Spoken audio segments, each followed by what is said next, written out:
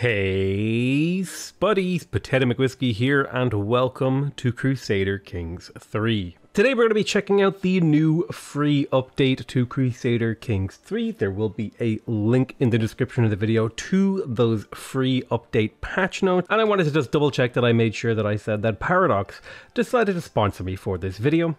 So huge thanks to those guys. However, in the email that I was sent, they said there was no review or approval necessary for the video. I feel like this was a mistake. I think today we'll be playing as Basilius Constantinos X of the Byzantine Empire, the 10th rather. But we're going to create our own ruler. Now, when you're creating a character, it's often a good idea to know what you want to achieve that game. And I'm pretty sure I know what I want to do. Personally, my goal is very, very simple and that's to just simply increase the number of dwarves in the world by the time my character dies. So we'll be playing a 16 year old dwarf who has lust burning within his soul, is incredibly deceitful, and yet quite temperate and moderate in his disposition. Now, you can do all sorts of really, really cool stuff with the ruler creator. You can pick your educational background, you can change your age, you can make your character fat or skinny, you can pick from all of the personality traits in the entire game, and not to mention all of the genetic and generatable traits, for example. I can give my dwarf the fornicator trait as well as the adulterer trait. Normally, when you're playing Crusader Kings 3, it's all about optimizing for you know, how big your empire is, how many domain holdings you have, how many, how happy your vassals are. No, not today. Today, my goal is quite simply to spread my dwarf genes as far and as wide as possible. The other thing you could do is you can completely customize your character's appearance. And I often find, and I, I do apologize for what you're about to witness because it's always horrific every time I do it in a game. Um, I often find the most interesting way to find out how robust a character creator is is to just turn every single slider as far to the right as it will go. So here's our head and neck. We just slide and slide and slide. I hope you're starting to get an idea of uh, of where this is going to be going. That's the head and neck done, and you know what? He doesn't look too bad. You know, maybe a little bit odd looking, but he's definitely got a Chad like jawline and a cute little button nose with a questionable haircut, but I mean, he's 16. Come on, we've all had an awkward haircut when we were teenagers. I feel like ears, ears, ears is the area of the head where things can just go very, very horrendously wrong. And oh dear, yep. uh-oh, uh-oh, this bodes well. This bodes well for the future. I also definitely feel like once you start pulling face sliders in games, um, you like, you get to a point where it's like, okay, this isn't too bad. It's like we we could stop here now. And then oftentimes people are watching me and they realize that I'm not I'm not going to stop and that in fact this man's chin and forehead are just going to continue to expand until he is at least 20% chin and forehead. Oh dear, he, he's starting to get a very sunken quality to his face. Oh, the chin has changed angle. The chin... the chin has changed angle. Oh no, what have I done to this poor man?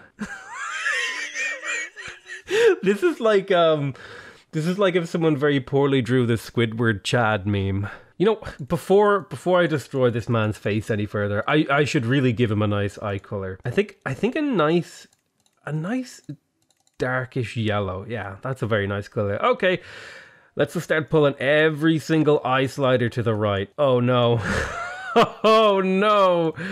Oh god. His eyes it's really not good. Like I feel like you could almost get away with having a crane the game is struggling to render this.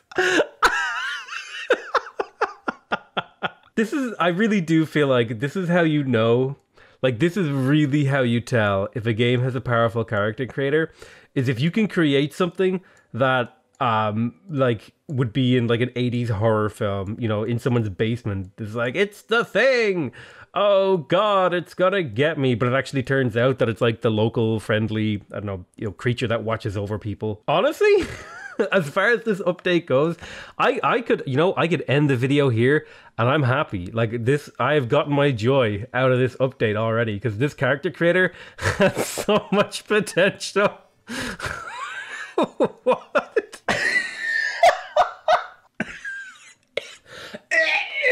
Oh my god. Excuse me. oh, okay. I'm actually crying a little bit.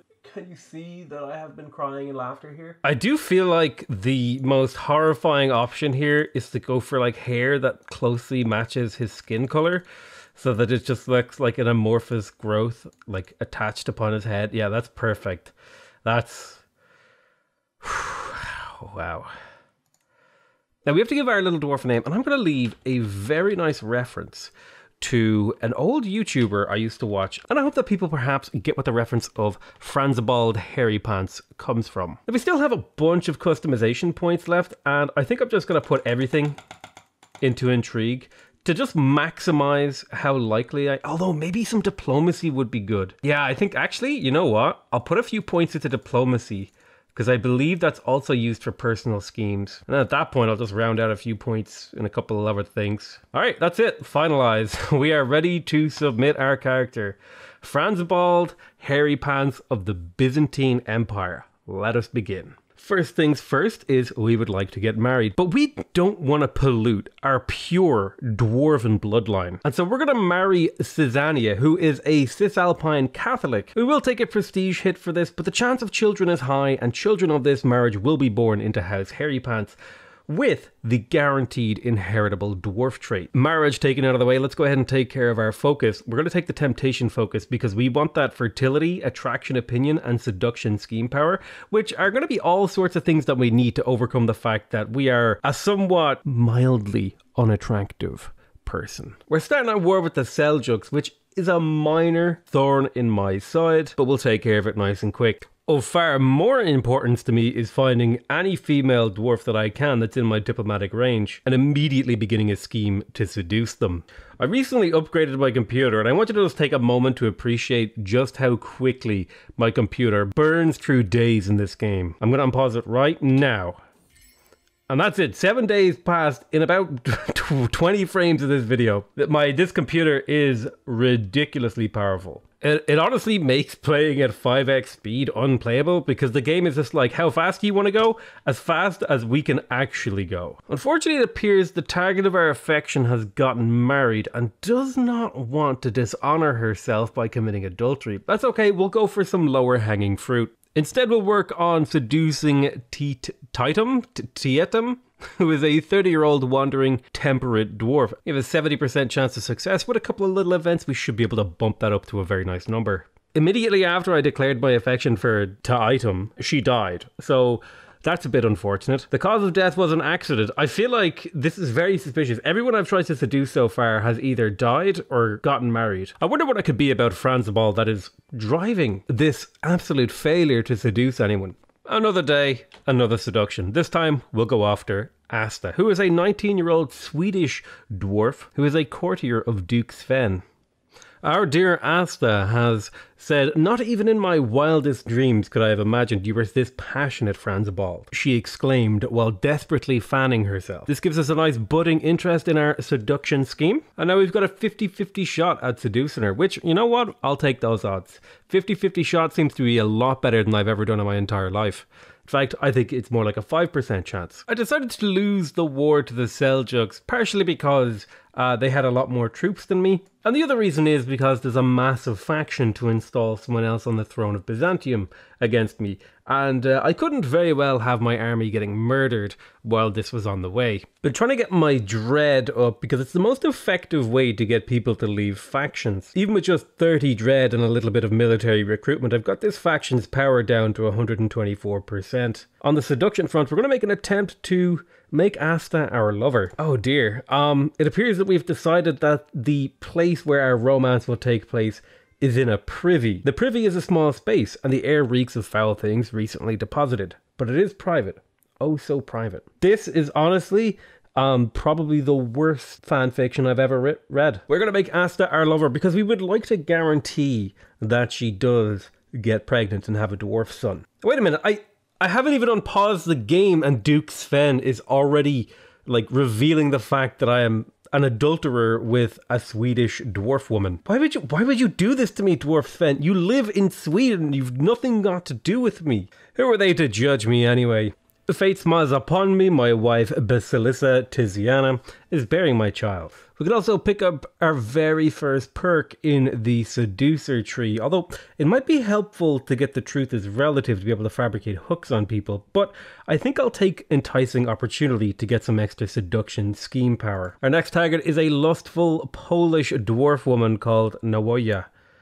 Navoja? Navoya. I Polish people, please tell me how to pronounce this name. Anyway, this is practically a slam dunk because it's already an 85% chance of success. Although having said that, I can think of numerous times where I thought I had a slam dunk opportunity in the romance area on my hands that ended up fizzling out into uh, just pain and regret and, you know, crying on your bathroom floor. And I'm not nearly as, um, perhaps, ungainly as Franzibald is. Our first daughter has been born. This is Princess Demetra Hairy Pants of the Byzantine Empire. She is a dwarf who has been born in the purple, so she'll get a bunch of extra prestige. I probably should have done this right at the start of the game, but if I search in the character finder for dwarf characters, there are 102 dwarves out of about 25,000 characters, and my goal is to get that number to be as big as possible before I die. And with the addition of our daughter, there's one more dwarf in the world. The time has come to give Navoya a good old tumble. Okay, why why is it in a toilet again? What is happening? I think I think there's something wrong with my character. I mean, just look at him. That's definitely the face of a degenerate. Let's give it a try with Mateja.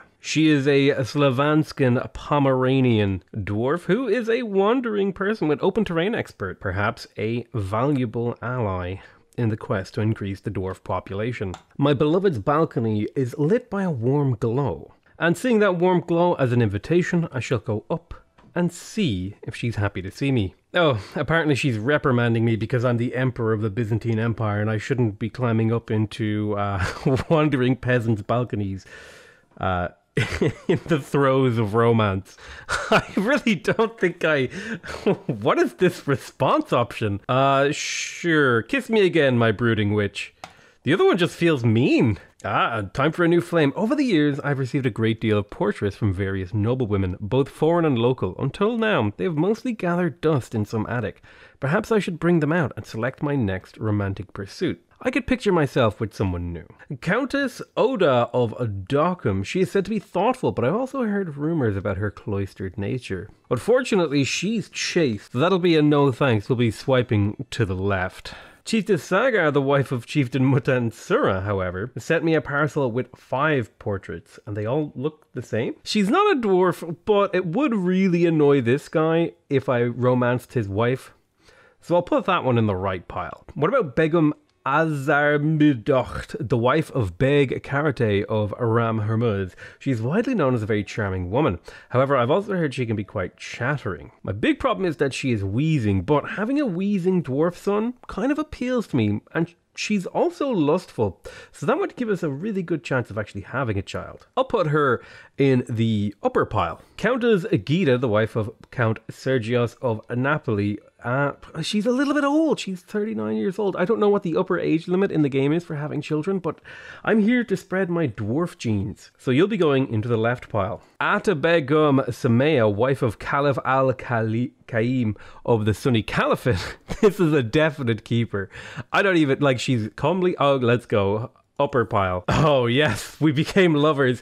Amazing. This is the RNG home wrecker speed run. I am so happy. Like weeds in a garden, my fertility will increase, giving me a better chance of actually fathering the dwarf sons that I desire. My wife has become pregnant, although she is ill, which isn't great because I really would uh, like to get a son. And I don't know if poor Basilius Franzibald Hairy Pants of the Byzantine Empire, I don't know if his heart could take it if he would have to remarry. Also, my lover Asta's belly has begun to grow, and uh, she might have some splaining to do. I may as well confront her about the child and see if it's mine. And in fact, she has confirmed that it is my child, and this is joyous news. It must be shared among the world, and it will make me a criminal because technically adultery is illegal. Um, you know, for the Orthodox faith. But who cares? I, you know, I'll happily lose my devotion. I'm already a sinner. The truth is out. Nobody can use that secret against me.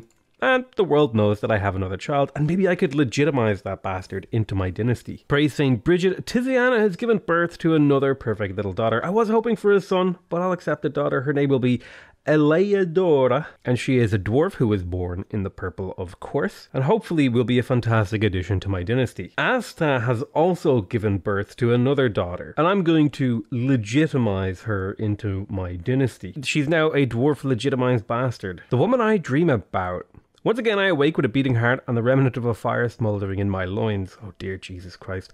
Many nights have passed since I shared a bed with a beautiful woman I stumbled upon outside my castle, but my longing only grows. I must find her. My god, I'm gonna throw away 135 ducats just to find this woman? Good god. My lord, I present to you Matea, brought to you before you upon your insistence. At last, as she stands before me, I feel like the time we shared never ended. However, beside her stands what appears to be her son, and I cannot help but react to his age. Uh, looks like I have another son outside of wedlock, and I'm going to invite Matea to come and join my court. Since I now know the identity of her child's father, I can expose the child's heritage. The secret that Zdenek, oh my god, how do you even pronounce these names, is my child is suddenly on everyone's lips. I already knew Zdenek was the result result of my dalliances with Matea.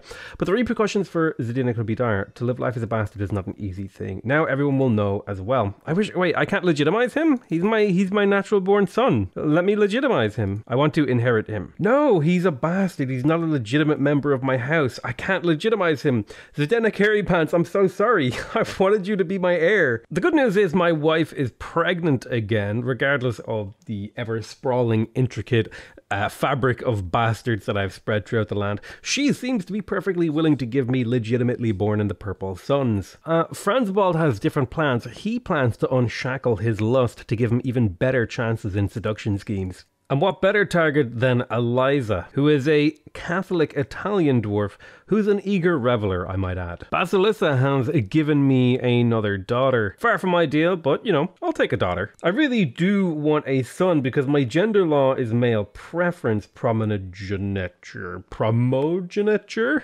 the oldest child inherits and there's a male preference. So it's usually better to have a male son um, in this sort of succession situation. The game thinks I have too many lovers, but I disagree. Romance is not about quantity, but quality. All right, let's gamble on this one and uh, look outside and shine upon my knight, Eliza. Ugh, we're getting some bad rolls on these seduction penalties.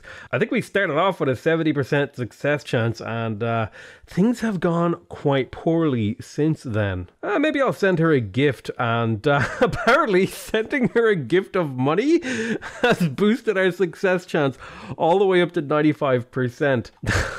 okay, this I don't know. This feels like it's a very Oh, I don't know about that one. Apparently, in the world of CK3, if someone doesn't like you and you're trying to romance them, just give them a gift of cash. It'll it'll make it work out. Our union will be as singular as her poem. We were fortunate enough for our poetry session to bear fruit in the form of a child keeping in character, we shall proclaim this child to be ours. Our hard work is starting to pay off though. We're at 116 out of 25,000 characters being dwarf. I don't want to keep you guys too long watching this video. Let me know what you thought of this, however. Did you enjoy this sort of different kind of playthrough where we don't focus on, you know, trying to achieve a game goal that's within the scope of the actual game mechanics, and rather we kind of come up with our own wacky way to uh, quote unquote win. Like I said, I'll leave the video there for now because it's a bit of an experimental one. I don't know if you guys like this kind of thing, so let me know how you feel. I love you all very much.